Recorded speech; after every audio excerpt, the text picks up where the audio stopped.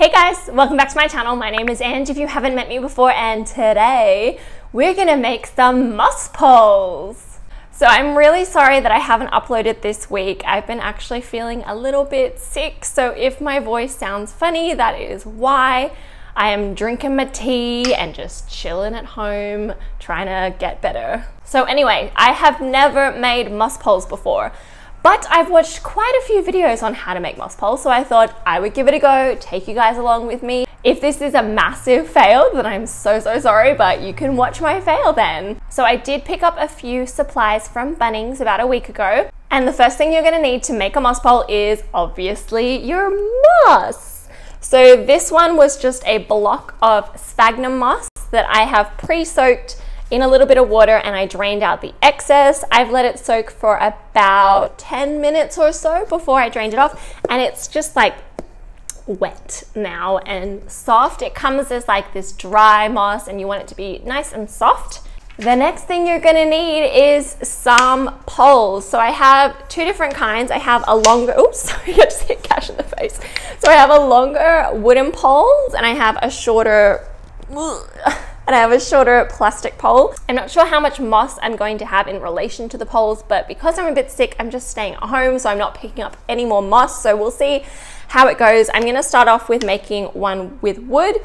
I would have preferred to get all of them in plastic or these PVC pipes, but they didn't have the size I wanted in these pipes and I have no way to cut it. So we're gonna go with wood, but I know that wood might rot at some point in time. I know it's gonna take a while, but you know, we'll deal with that problem when it comes. The next thing you're gonna need is some meshing. So this is a plastic meshing that's just in the garden section. And this is what's going to actually keep all of the moss attached to the pole. And then the last thing you'll need is some zip ties. So again, I just picked these up from Bunnings. So let's get started. Let's see how this goes and let's hope it's not a fail. All right, so I am on my dining room table about to make this moss pole. So we have the netting and I've just put the pole on top of the netting for now. And also when you're making a moss pole, you don't actually need to put moss on the whole pole because this section is the area that's actually gonna stick into the soil. So now I've just gotta figure out how thick I want my moss pole to be. So I'm just gonna estimate, estimation is fine. I'm going to maybe have about two inches of netting on either side. And then I'm going to cut just along this line so we have a smaller piece of netting.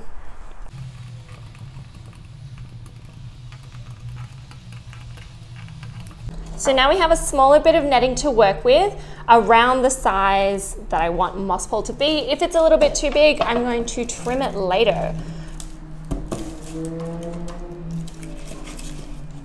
Lay flat. So now let's just start laying the moss on top of the netting.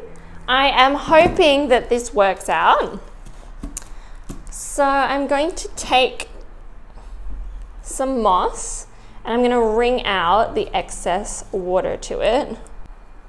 And I'm gonna have the moss not super duper thick, but maybe like a half a centimeter thick across the netting just like that. Can you tell that I'm not a DIYer? This is not my jam, but you know, we're gonna give it a go.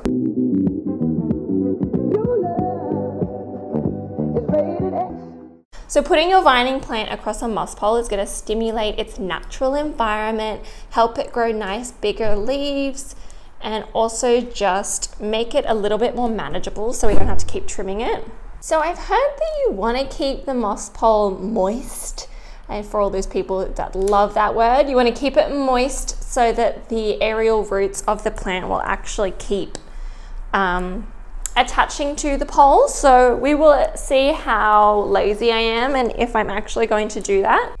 All right, so I feel like I've got an even layer of moss across the whole amount of netting. You can see that, yeah, it's about half a centimeter thick and there's no holes anywhere, which I think, I think we're good. So now I'm just gonna lay my stick down, lining it up at the top so you can see that. And then we've got a little bit of extra room to actually just pop that into the soil. So I'm just to trim a little bit of extra netting off because I think that it's actually a bit too wide. You know, we live, we learn. We're experimenting here. So you can watch me fail. Therefore, you can do it maybe a little bit easier. All right, so I took off a little bit of extra plastic. And now we're gonna go back to wrapping this guy like a little burrito. So I'm going to take my zip tie and I'm going to pop them just here.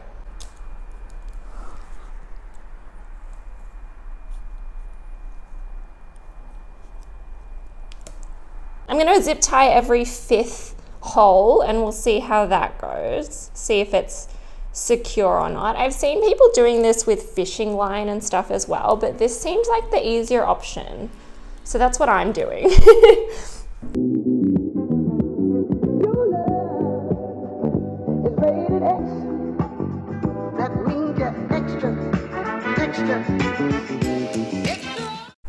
So I feel like every fourth one isn't that secure. So I'm gonna get a little bit of yarn, twine, string, whatever this is, and tie in between as well, just to make it all nice and tight. I would use zip ties, but I feel like I'm gonna run out and I wanna make a few more poles today to put in my other plants, so let's just do that. Oh, this is looking pretty secure. So now what we're gonna do is we're gonna trim off all these little plastic ends and these little yarn strings.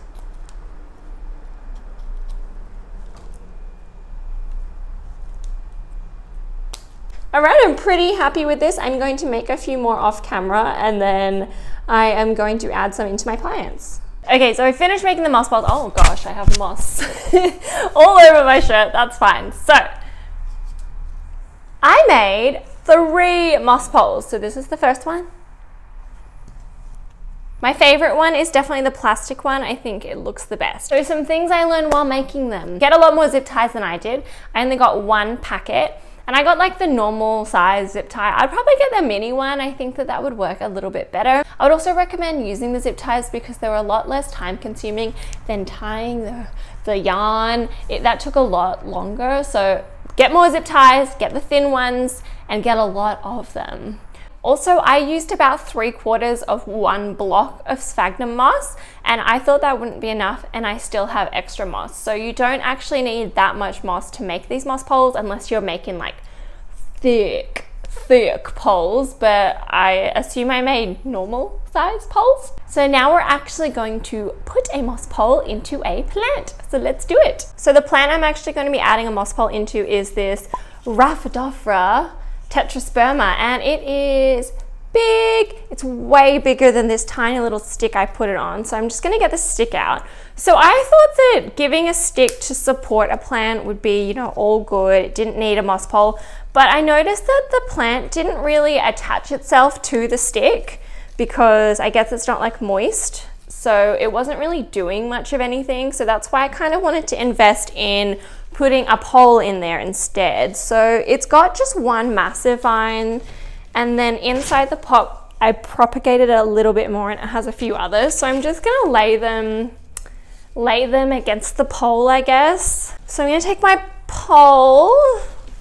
I don't know how this is gonna stay up. Like, it's very precarious, but we will see. I might have to repot it in the springtime um, soon, but we'll see how this goes first. I'm pretty much gonna lay, you can't see me, I'm pretty much gonna lay the Rhaphidophora against the moss pole and try and get the aerial roots to kind of press against it. And I'm going to use a little bit of my string again to kind of tie them together.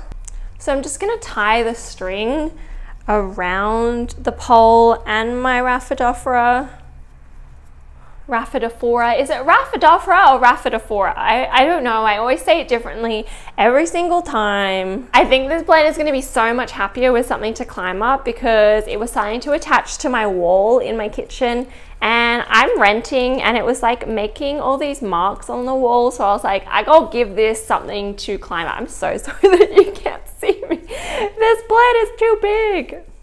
Oh my goodness, this is looking so stinking cute. Look at that. It's massive. So you can see my dishes drying here. Sorry, but it is huge. Oh my gosh, it's looking so cute. So yeah, I just tied it up with some twine and hopefully it attaches to the moss pole soon. Next plant that I'm putting a moss pole in is my Syngonium. So you probably saw this in my underrated plants video. If you haven't checked it out yet, I will link it up the top for you. But again, I have this put on a stick and it's not doing much. So I'm going to cut off the ties from the stick and give it its own little moss pole to go onto. I'm hoping that it helps the leaves mature because as a syngonium matures, it gets these little lobes on the leaves. They get super cute. So I'm hoping that that will happen if this has something to climb up. Gonna add in the moss pole. I'm literally just sticking it in the hole that, you know, was in there before. I know I have to repot this guy soon as well.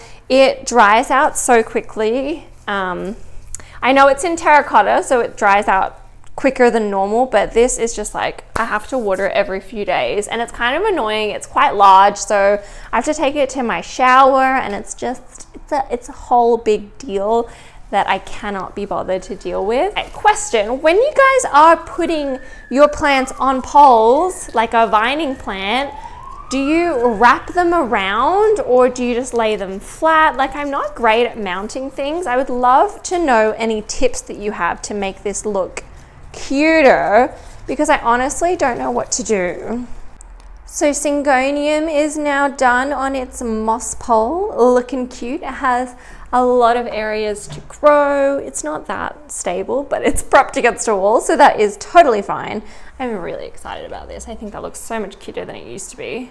So that is it for this video today. Thank you guys so much for watching. If you liked it, then please hit the thumbs up. And if you haven't already, then hit subscribe. And I will see you guys in my next video. All right, bye.